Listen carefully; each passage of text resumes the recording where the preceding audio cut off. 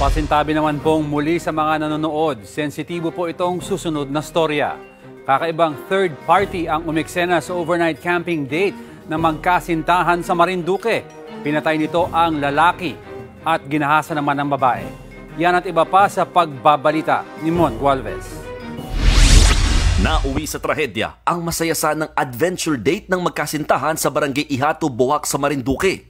Webes, July 14, nang mag-camp sa isang masukal na lugar sa tabing dagat at tabing highway ang dalawa. Madaling araw ng biyernes habang sila'y nahihimbing nang bigla raw silang pasukin ng isang hindi pa nakikilalang sospek.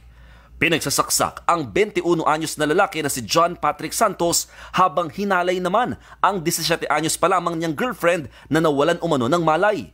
Umaga na raw nang nakahingi ng saklolo ang girlfriend ng nasawing biktima. Hirap na hirap naman siyang ilarawan ang salarin. Ang binigay lang po niya sa amin is more or less 26 years old. Yung suspect and then 5'4 in height.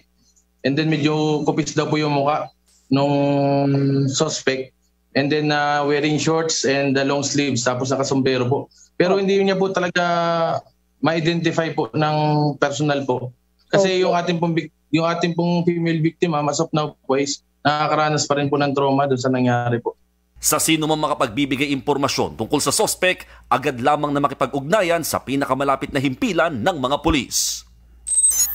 Dead on arrival sa pagamutan ng mag-asawang Ruben at Nora Baltazar matapos pagsasaksakin ng sarili nilang anak habang sila ay natutulog Webes ng madaling araw.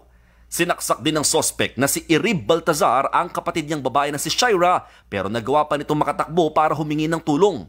Agad na aresto ng mga pulis ang sospek hindi pa malinaw ang kanyang motibo pero ayon sa nakaligtas na kapatid, ilang araw na raw niyang napapansin na iba ang kinikilos ni Irib.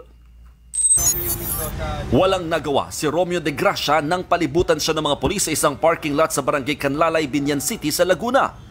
Empleyado raw ng spa at massage parlor sa Laguna si de Gracia kung saan bukod sa masahe may inaalok ding extra service. Bugaw ang trabaho nila. So kasi easy money, di ba? Kuha siya ng mga customers para para doon sa mga sa is- spa. Hindi lang naman sa masahe. Mas masigit pa, mas malalim pa. Yun yung prostitutions. Todo tanggi ang sospek na sangkot siya sa pag-aalok ng extra service. Pero labis daw ang pagsisisi niya na napasok sa maling trabaho. Hindi ko naman to ano eh, kagustuhan eh. Kung alam ko lang po na meron ganyan, hindi po ako papasok dyan para mag-parking dyan, magtulong-tulong, ay ayaw ko po. Napag-alaman pa na naaresto na pala si De Gracia noong 2021 pero nakalaya dahil sa kawalan ng ebidensya. Ngayon, tiwala ang mga otoridad. Simon Gualvez,